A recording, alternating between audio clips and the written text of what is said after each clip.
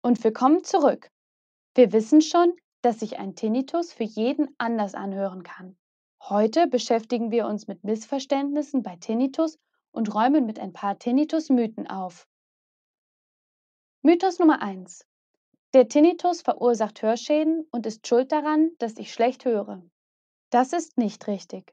Wir haben gehört, dass Tinnitus eine Folge von einer Hörschädigung sein kann, aber nicht umgekehrt. Der Tinnitus ist kein externes Geräusch, welches unser Gehör schädigen kann. Manchmal haben Betroffene auch den Eindruck, dass in einer lauten Umgebung der Tinnitus schuld daran ist, dass man andere Menschen nicht gut verstehen kann. Das stimmt so auch nicht. Solche Situationen sind auch für Normalhörende anstrengend.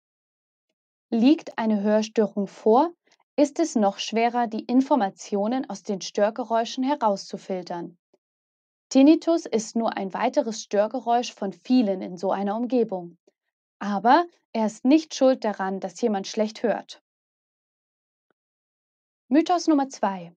Der Tinnitus wird immer lauter. Der Mythos, dass der Tinnitus immer schlimmer wird, stimmt so nicht. Es ist meist die Umgangsweise mit dem Tinnitus oder andere Belastungen für das Gehirn wie berufliche oder private Probleme, die ihn nicht besser werden lassen.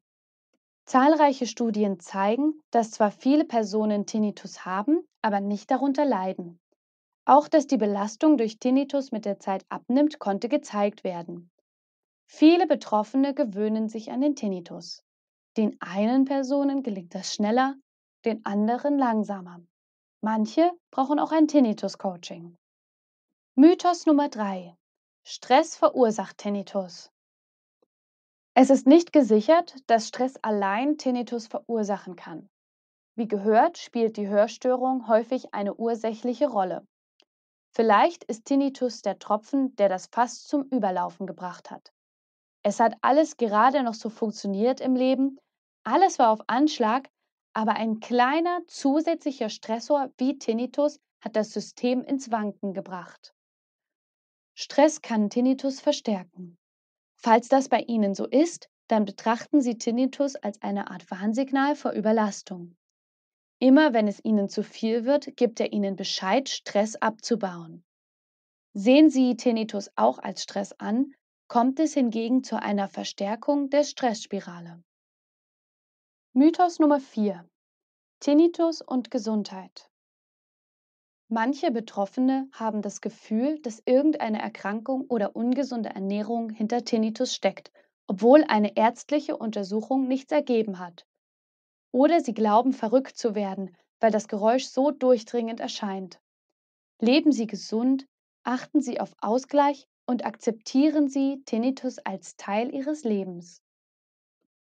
Manchmal findet man im Internet auch die Information, dass Tinnitus so schlimm sein kann, dass man sich etwas antut. Suchen Sie sich Hilfe, wenn Sie lebensüberdrüssige Gedanken haben. Hier spielen meist Depressionen eine große Rolle. Ihnen kann geholfen werden. Mythos Nummer 5. Man kann nichts gegen Tinnitus tun und nur ohne Tinnitus kann ich wieder glücklich werden. Sie haben in den vergangenen Videos viel gehört, was man gegen Tinnitus tun kann. Auch wenn man ihn nicht ausschalten kann, gewöhnen sich viele Menschen an Tinnitus und führen ein gutes Leben. Ich habe schon viele Patientinnen begleitet und gecoacht. Diese haben mir das bestätigt. Lassen Sie sich auf den Gedanken ein, dass er ein Teil Ihres Lebens ist. Das ist der erste und wichtigste Schritt. Im nächsten und letzten Video wird es eine Zusammenfassung über alles geben, was wir bisher gehört haben. Bis bald!